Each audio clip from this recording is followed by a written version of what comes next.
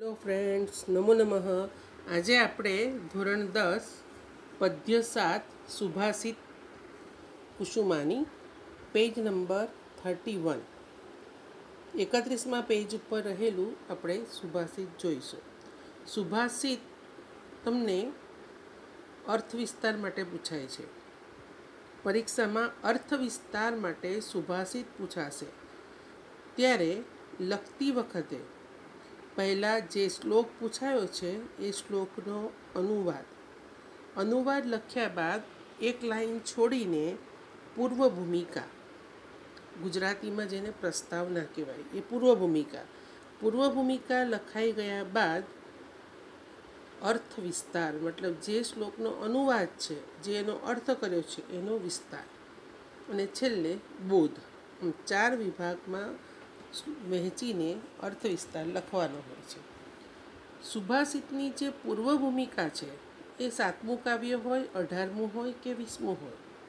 જે જે અર્થ વિસ્તાર માટેના સુભાષિતો હોય, કોઈક મેસેજ આપતું પદ્ય હોય, તો એની પૂર્વ ભૂમિકા એક સરખી રહેશે.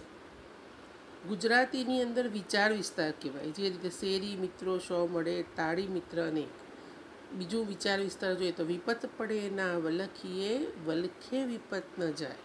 વિપતે ઉદ્યમ કીજીએ ઉદ્યમ વિપતને ખાય. એ ગુજરાતીમાં વિચાર વિસ્તાર છે. એ વિચાર વિસ્તારની અંદર પણ તમે જે પ્રસ્તાવના લખો, તેની અંદર જે સંસ્કૃતમાં હું અત્યારે બોલીશ એ પૂર્વ ભૂમિકા કે પ્રસ્તાવના, ગુજરાતી અને સંસ્કૃત, બંને વિષયના વિચાર વિસ્તારમાં અર્થ વિસ્તારમાં તમે લખી શકશો. કોમર્સ લેશો તો અગિયાર બારમાં પણ તમે ગુજરાતી વિષયની વિચાર વિસ્તારમાં લખી શકશો. એટલે ધ્યાનથી સાંભળો અને ઉતારી પણ દેજો. વારંવાર તમને વીડિયો છે, વારંવાર પણ જોઈ શકશો અને ઉતારી શકશો. સુષ્ટુ ભાષે તે ઇતિ સુભાષિત. મતલબ જેની અંદર સુંદર વિચારો રહ્યા છે. સુંદર વિચારોવાળું પદ્ય એટલે સુભાષિત. સુભાષિતની અંદર નીતિમત્તા, બોધ અને ઉપદેશની વાતો સુંદર રીતે વણી લેવાય છે. જેમ કડવું ઔષધ, કડવી દવા મધ સાથે પીવડાવવામાં આવે છે, આમ સુભાષિતની અંદર ઉપદેશની, નીતિમત્તાની વાતો જે અણગમતી વાતો છે, કોઈને ઉપદેશ સાંભળવો ગમે નહીં, એવી વાતો સુંદર રીતે વણી લેવાય છે. એટલે જ સુભાષિત માટે કહેવાયું છે કે પૃથ્વીયામ ત્રીણી રત્નાની. પૃથ્વી ઉપર ત્રીણી ત્રણ રત્નો છે. જલમ, અન્નમ ચ સુભાષિતમ પૃથ્વી ઉપર ત્રણ પ્રકારના રત્નો છે. રત્ન, જ્વેલરી. પહેલું, જલમ, પાણી. અન્નમ, ભોજન, ખાવાનું. અને ત્રીજું, સુભાષિત. વિચાર આવે છે કે ખાવાનું એટલે પાણી અને ખોરાક બે તો માણસના શારીરિક પોષણને માટે, દરેક જીવના પોષણને માટે ખોરાક અને પાણી જરૂરિયાત છે.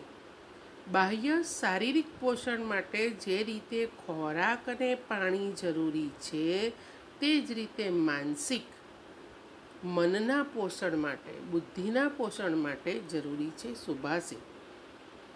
સુભાષિતના માધ્યમથી માણસ હતાશ, લાચાર અને નિરાશ થયા વિના ઉત્સાહથી સહજ, સરળ અને આનંદદાયક જીવન જીવી શકે છે. એટલે જ સુભાષિતને પૃથ્વી પરનું રત્ન કહ્યું છે. સુભાષિત માટે કહેવાય છે કે સુભાષિત એટલે વે ઓફ થિંકિંગ વિચારવાનો માર્ગ. જે વિચારે છે તે માણસ અને વિચરે છે. મન ફાવે ત્યાં ભટકે એ છે પશુ. એટલે માણસને સારા વિચારો તરફ પ્રેરવા માટે સુભાષિત સુભાષિત જરૂરી છે, ઉપયોગી છે. વળી સુભાષિત માટે કહેવાય છે કે સુભાષિત એટલે આર્ટ ઓફ લિવિંગ જીવન જીવવાની કળા. અત્યારે સૌથી આ સમયમાં માણસને જો સૌથી વધુ ઉપયોગી હોય, તો એ છે જીવન જીવવાની જો કળા આવડી ગઈ, તો કદી પણ હતાશ, લાચાર કે નિરાશ થયા વિના ઉત્સાહથી જીવન જીવે, ડિપ્રેશનમાં નહીં આવે. આ કોરોના કાળમાં માણસની માનસિક હાલત સૌથી વધારે માણસના મનને કોરોના લાગેલો છે.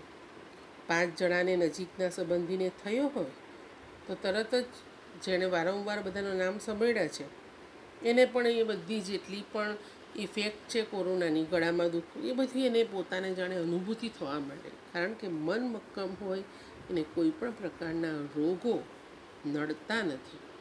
અને એ મનની મક્કમતા માટે જરૂરી છે સારા વિચારો અને સારા વિચારો મળે છે સુભાષિતમાંથી. એટલે જ સુભાષિત મતલબ આર્ટ ઓફ લિવિંગ સુભાષિતને ગાગરમાં સાગર કહેવાયા છે. સાગર જેવી ગંભીર વાતો સુભાષિતના માધ્યમથી ઘણી સરળતાથી કહેવાઈ જાય છે. એટલે જ સુભાષિત માટે એક કવિએ કહ્યું છે કે દ્રાક્ષા મ્લાન મુખી જાતા શર્કરા ચ અસ્મતામ ગતા, સુભાષિત રસમ દૃષ્ટવા સુધા ભીતા દિવમ ગતા. સુભાષિતનો આનંદ જોઈને દ્રાક્ષનું મુખ કરમાઈ ગયું. સાકર પથ્થર બની ગઈ અને ભયભીત થયેલું સુધા, ભીતા, સુધા એટલે અમૃત ભીતા, ભયભીત થયેલું દીવમ ગતા સ્વર્ગે સીધાવી ગયું. મતલબ કવિ કલ્પના કરે છે કે પહેલાં અમૃત એ પૃથ્વી પર જ હતું. પરંતુ જ્યારથી લોકો સુભાષિતમાંથી આનંદ મેળવવા માંડ્યા, આથી દ્રાક્ષ અને સાકર જે મીઠાશને માટે જાણીતી છે. દ્રાક્ષ જાણે કરમાઈ ગઈ સાકરનું અવમૂલ્યન થતાં એ પથ્થર જેવી બની ગઈ અને ભયભીત થઈને અમૃત ક્યાં ચાલ્યું ગયું? સ્વર્ગમાં. આમ વ્યતિરેકનો પ્રયોગ કરીને અહીં સુંદર રીતે સુભાષિતનું મહત્ત્વ દર્શાવ્યું છે. સુભાષિતની અંદર પેઢી દર પેઢીનું અમૃત સુંદર રીતે સચવાયેલું હોય છે અને સુંદર રીતે કહેવાય છે. હવે પછીના સમયમાં સુભાષિતો પંચતંત્ર અને હિતોપ્રદેશની વાતો એ જ બાળકને અને દરેક માણસને માટે ઉપયોગી રહેશે. એટલે જ તો હવે નવી શિક્ષણ નીતિમાં આ સંસ્કૃત ઉપર ભાર મુકાયો છે. કારણ કે સંસ્કૃત હશે તો સંસ્કૃતિ જળવાશે, સમાજ જળવાશે અને માણસ પણ વ્યવસ્થિત રહેશે. તો આપણે એકત્રીસમાં પાના પરનું પહેલું સુભાષિત પહેલો શ્લોક જોઈશું. એકત્રીસમાં પાના પરમાં પહેલો શ્લોક છે સદ્ધિ તું લીલયા પ્રોક્તમ. સદ્ધિ મતલબ સજ્જનો વડે. સદ્ધિ સજ્જનો વડે લીલયા સરળતાથી પ્રોક્તમ કહેવાયેલો. પહેલો શ્લોક. મોડે નથી કરવાનો, ફક્ત ગાઈએ છીએ. પેજ નંબર થર્ટી વન એકત્રિંશત પૃષ્ઠે પશ્યત. સદ્ધિ તુ લીલયા પ્રોક્તમ, શિલાલિખિતમ અક્ષરમ. અસદ્ધિ શપથેનપી, જલે લિખિતમ અક્ષરમ. સદ્ધિ મતલબ સજ્જન. સજ્જનો વડે લીલયા સદ્ધિ પ્લસ તુ. વિસર્ગ પછી ત છે, એટલે વિસર્ગનો થયો શ સજ્જનો વડે લીલયા, સરળતાથી પ્રોક્તમ કહેવાયેલું. શિલાલિખિતમ, પથ્થર ઉપર લખાયેલા અક્ષરમ, અક્ષર જેવું છે, શિલાલેખ જેવું છે. અશોકના શિલાલેખ, સાંચીના સ્તૂપ. મધ્યપ્રદેશની અંદર આવેલા છે. ત્યાં અત્યારે પણ અશોકના શિલાલેખ, મતલબ સમ્રાટ અશોકે જે પથ્થર ઉપર કોતરીને લખાયેલું લખાણ એ કેટલો એ સમય નીકળી ગયો, કેટલાય કાળના પ્રવાહમાં હજી પણ એ શિલાલેખો આપણને જોવાના મળે છે, જે બૌદ્ધ ધર્મના પ્રચાર કરતા હતા. એટલે સદ્ધિહી પ્લસ તુ સજ્જનો વડે લીલયા સરળતાથી, મતલબ આમ જ આમ ઇઝીલી પ્રોક્તમ, કહેવાયેલું, શિલાલિખિતમ અક્ષરમ, પથ્થર ઉપર લખેલા અક્ષર સમાન છે. અસદ્ધિ સપથેનપી સદ્ધિહીનો વિરોધી શબ્દ. અસદ્ધિ અસદ્ધિ મતલબ દુર્જનો વડે. સપથેન પ્લસ અપી, સોગંદ વડે. સપથ મતલબ સોગંદ.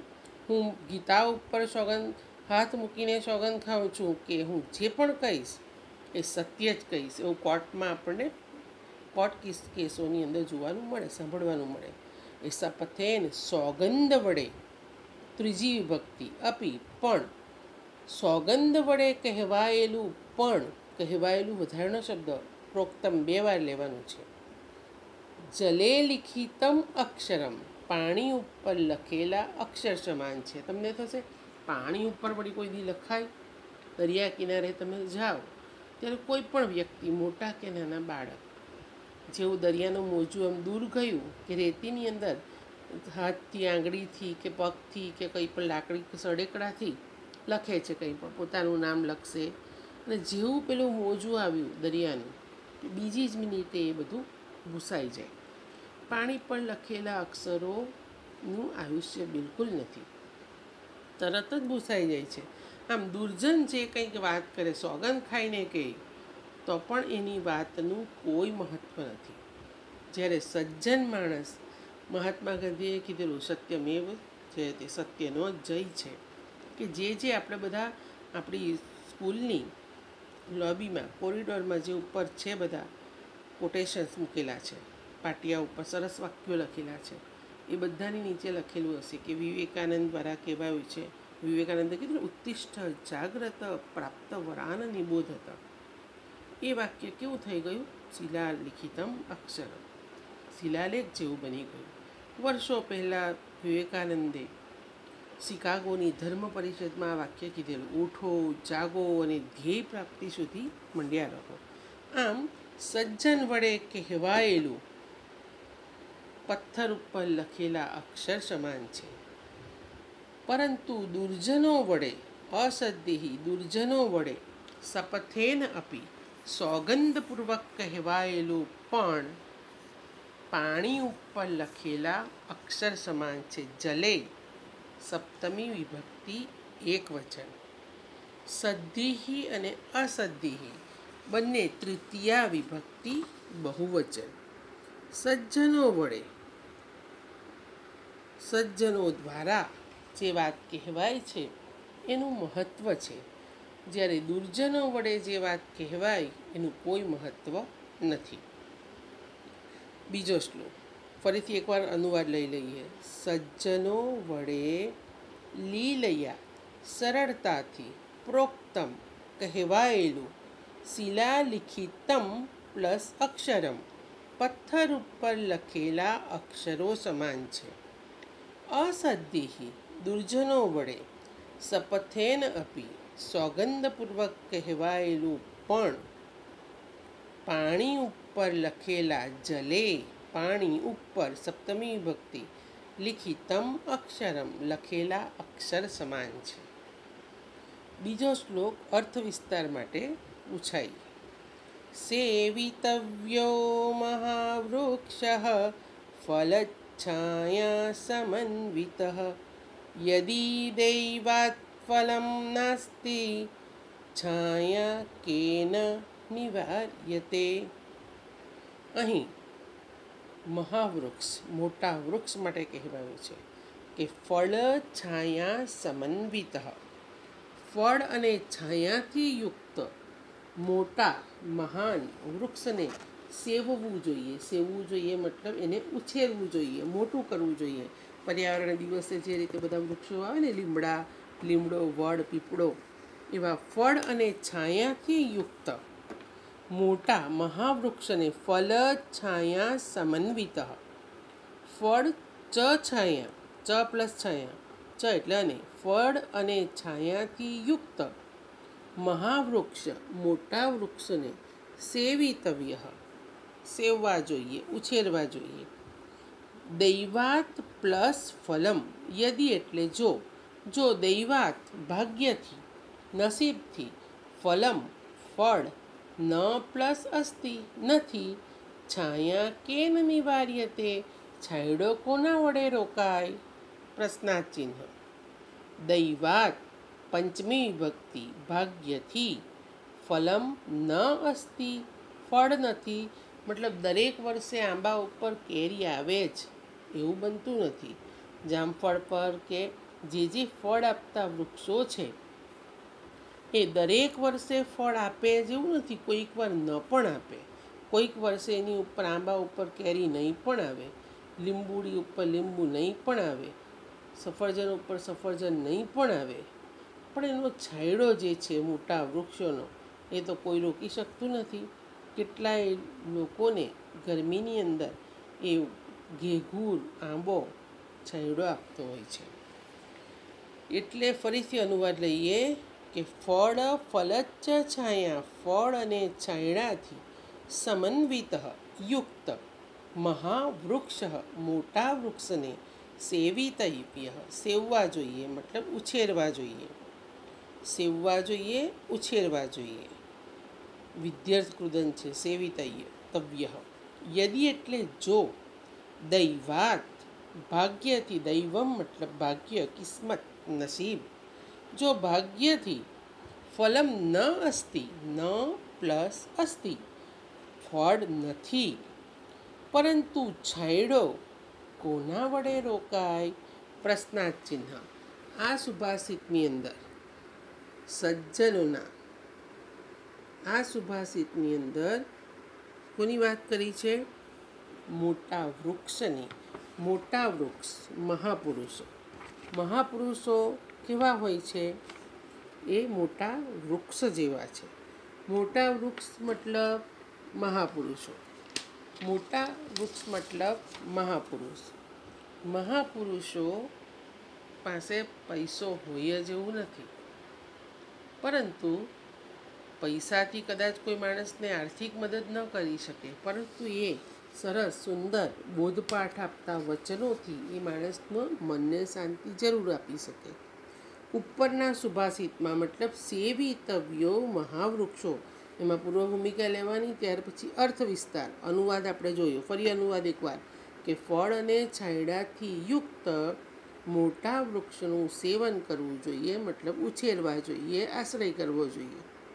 પરંતુ ભાગ્યથી જો ફળ ન આપે અથવા ફળ ન હોય, પરંતુ એનો છાંયડો કોણ રોકી શકે?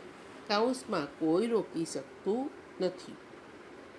આ સુભાષિતમાં સુભાષિતકારે વૃક્ષનું મહત્ત્વ વર્ણવ્યું છે.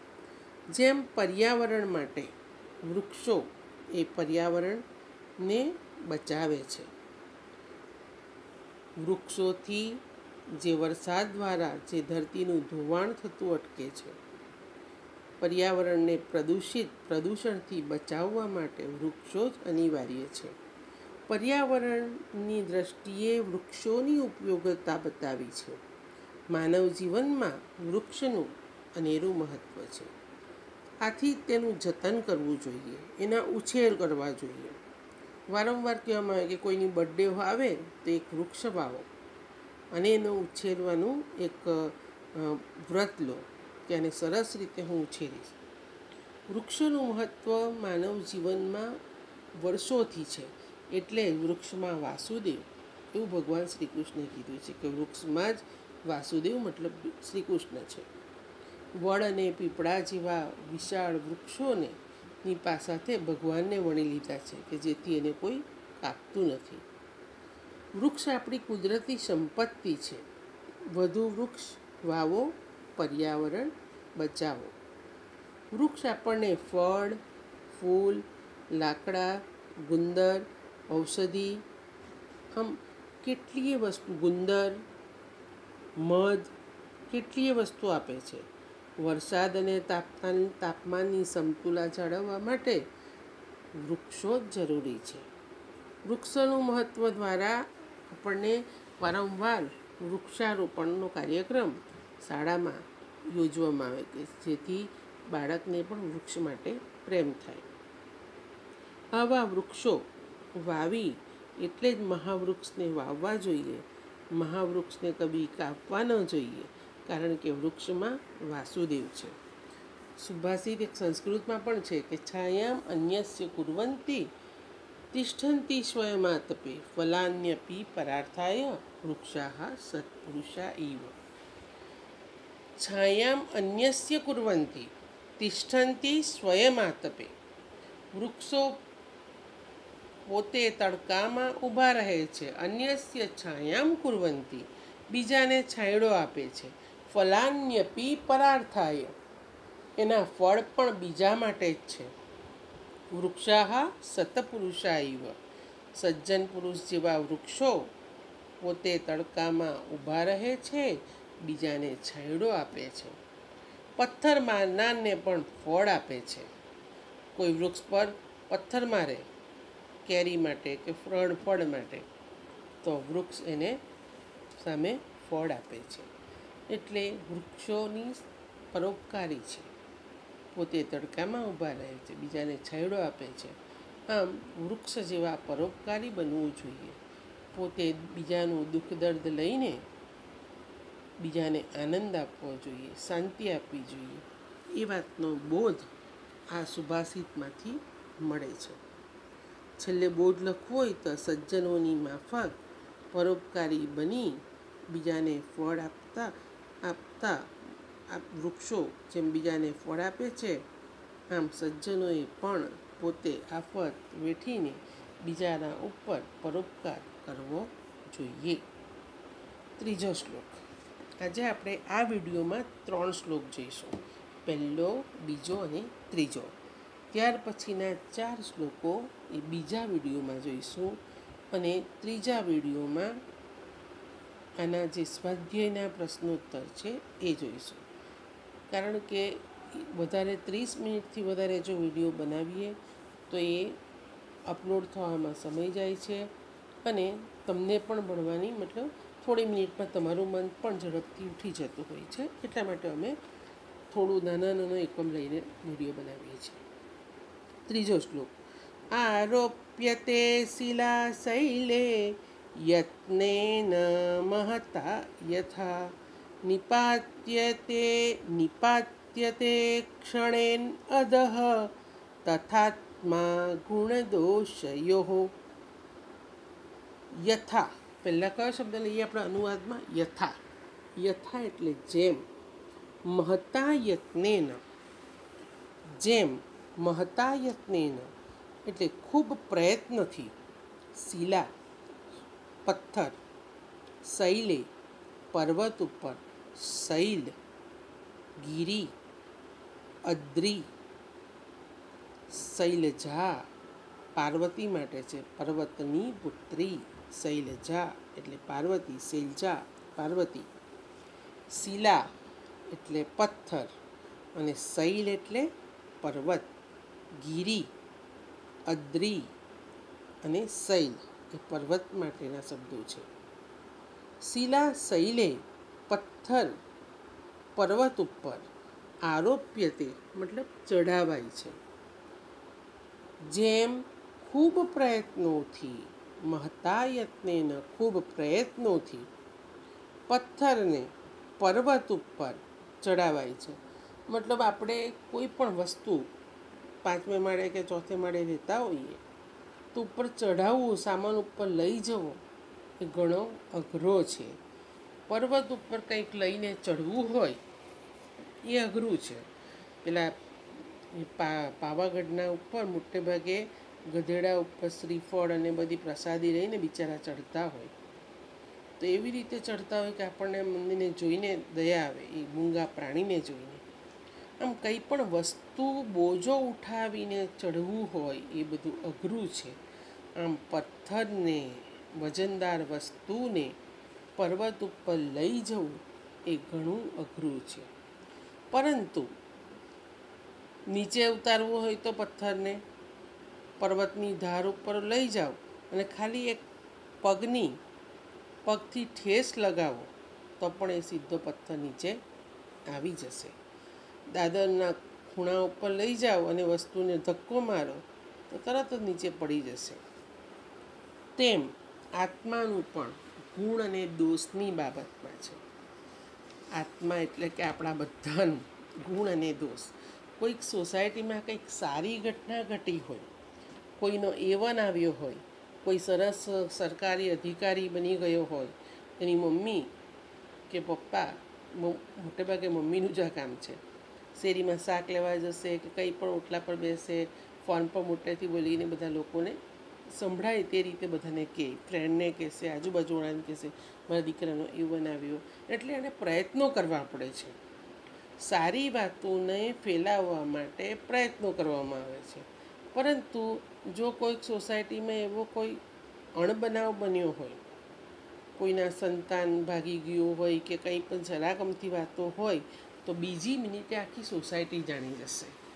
આ કોરોના કોઈને પોઝિટિવ છે એવું ડૉક્ટરે હજુ તો કીધું અને રિપોર્ટ પૂરો આવ્યો નહીં હોય તે આખી સોસાયટી કે આખો એપાર્ટમેન્ટ જાણી જાય. ખબર છે? એટલે પાંચસો બે વાળાને કોરોના આવે. આમ સમાજમાં સારી વાતોને ફેલાવવી ઘણી અઘરી છે. જ્યારે ખરાબ વાતોને ફેલાવવા માટે કોઈ પ્રયત્ન કરવો પડતો નથી. શ્લોક શીખવવા માટે મમ્મી બહુ પ્રયત્ન કરે બાળકને. અને શેરીમાં જાય અને કોઈ બે પાસ ગાળ બોલતું હોય તો એ ગાળ બોલતા તરત જ શીખી જશે, અપશબ્દો બોલતા તરત શીખી જશે અને સારી વાતો શીખવવી પડે છે. આમ જેમ ઉદાહરણ છે કે જેમ પથ્થરને પર્વત પર ચડાવવો ઘણો અઘરો છે, આમ સારા વિચારોને સમાજમાં લઈ જવા ઘણા કઠિન છે. પરંતુ ખરાબ વિચારને ફેલાવવા હોય તો એને માટે બીજી જ મિનિટે બધી વાતો ફેલાઈ જાય છે. અનુવાદ. યથા એટલે જેમ જેમ, શિલા એટલે પથ્થર. જેમ પથ્થરને મહતા યત્નેના ખૂબ પ્રયત્નોથી શૈલે પર્વત ઉપર સપ્તમી વિભક્તિ, પર્વત ઉપર આરોપ્યતે મૂકવામાં આવે છે અથવા ચઢાવાય છે. આરોપ્યતે એટલે મૂકવામાં આવે છે અથવા ચઢાવાય છે.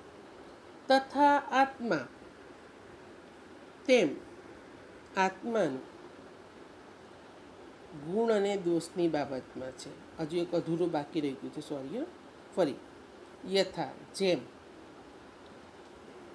શિલા, પથ્થરને મહતાયત્ને ખૂબ પ્રયત્નોથી શૈલે આરોપ્યતે પર્વત ઉપર મુકાય છે. ક્ષણેન પ્લસ અધઃ. પણ થોડી વારમાં એક ક્ષણમાં જ અધઃ નીચે નિપાત્યતે પાડી શકાય છે. એક ક્ષણમાં નીચે પાડી શકાય છે તથા તેમ આત્માનું જીવનમાં આત્માનું ગુણ અને દોષની બાબતમાં છે. ગુણ દોષયો દ્વંદ્વ, સમાસ. તેમ આત્માનું ગુણ અને દોષની બાબતમાં છે. ગુણ અને દોષની બાબતમાં આવું જોવા મળે છે કે ગુણોને ફેલાવવા અઘરા છે અને દોષોને ફેલાવવા અઘરા નથી. ફરીથી, જેમ ખૂબ પ્રયત્નોથી ખૂબ પ્રયત્નોથી પથ્થરને પર્વત ઉપર મુકાય છે અથવા ચઢાવાય છે પરંતુ એક ક્ષણમાં જ નીચે પાડી દેવાય છે.